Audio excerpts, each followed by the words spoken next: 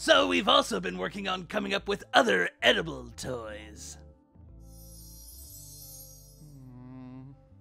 But this one's the best so far. This has jawbreaker bristles. And let me tell you, if you thought that these hurt your mouth. Uh, ooh! Didn't know that Princey was into that. Wanna see the whole set? Uh, no. It just. Has the colors that he likes. Uh huh. You really think I haven't seen that look before?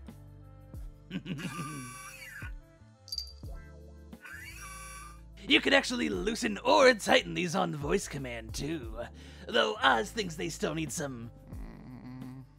Oh! You want it for you! And what if I do, huh? Does Mr. Raw Dogging Princess into Mattresses want to be a little kitty? Shut up! So, you want to try it on? Yeah. All good. Well, look at that. It suits you. Quit joking, Fizz. I'm not joking. What you want is important too. Took me a while to learn that.